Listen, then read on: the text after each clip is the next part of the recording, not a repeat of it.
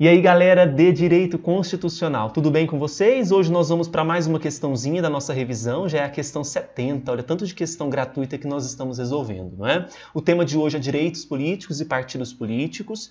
Quero convidá-los também a adquirir o nosso curso de questões de Direito Constitucional. São mil questões é, segmentadas e comentadas em vídeo. Para você adquirir o curso, é só passar no site eleitoralcomruno.com.br tá bom?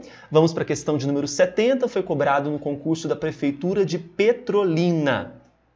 Veja, de acordo com a Constituição Federal, assinale a alternativa incorreta acerca dos direitos políticos e dos partidos. Letra A são inelegíveis, no território de jurisdição do titular, o cônjuge e os parentes consanguíneos ou afins, até o segundo grau, ou por adoção, do Presidente da República, de governador do Estado ou território, do Distrito Federal, de prefeito ou de quem os haja substituído dentro dos seis meses anteriores ao pleito salvo se já titular de mandato eletivo e candidato à reeleição. A letrata verdadeira fala sobre a inelegibilidade reflexa prevista na Constituição Federal no artigo 14, parágrafo 7 B. A lei que alterar o processo eleitoral entrará em vigor no exercício seguinte em que tiver sido publicada. Não, porque essa letra B fere o princípio da anualidade eleitoral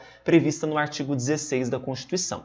A lei que altera o processo eleitoral entra em vigor na data da publicação, mas somente se aplicará à eleição que ocorrer após um ano da data da vigência.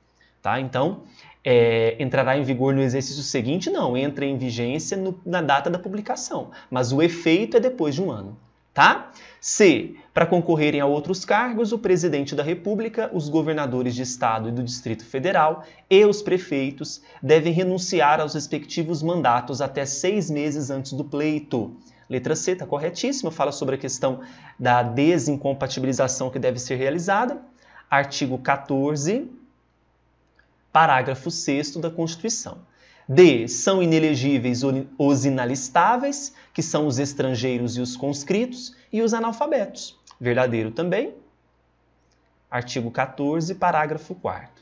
E os partidos políticos, após adquirirem personalidade jurídica na forma da lei civil, registrarão seus estatutos no TSE. Muito bem, os estatutos são registrados no TSE segundo o artigo 17, parágrafo 2 e a aquisição da personalidade jurídica é feita no cartório civil de registros de pessoas jurídicas da capital, Distrito Federal. Tudo bem? Gabarito, então, como estávamos buscando a incorreta, é a letra B. A gente fica por aqui. Se ficou com dúvidas, não se acanhe, mande ela para o nosso e-mail. Bons estudos e não deixe de curtir o vídeo. Tchau, tchau.